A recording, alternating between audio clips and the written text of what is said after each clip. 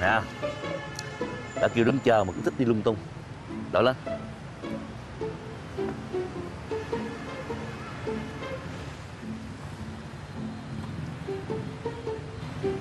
Đi uống tiếp nhá. Đi uống tiếp nhá. Rồi đi uống tiếp. Lên xe.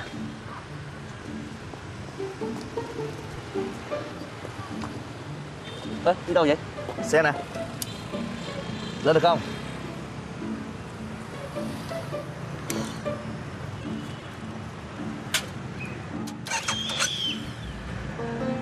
Ơ nè. Bây giờ không giữ mặt mũi nào. Mặt mũi vẫn còn nguyên mà phải là loại con gái Ngồi lên xe mô tô Xong rồi lại bắt vẻo. Để đến lúc anh rồ ga anh phóng đi Rồi hét lên là Eo ơi sợ quá. Điên à? Còn lâu? Thà ôm luôn từ đầu cho chắc. Ok Đi chặt nha. Ừ.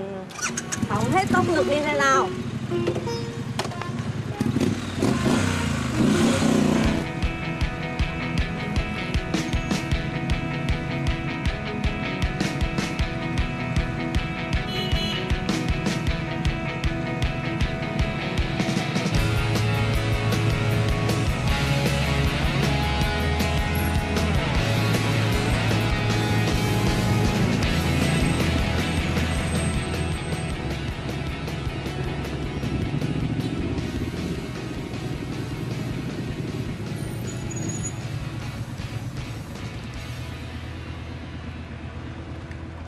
Tới rồi.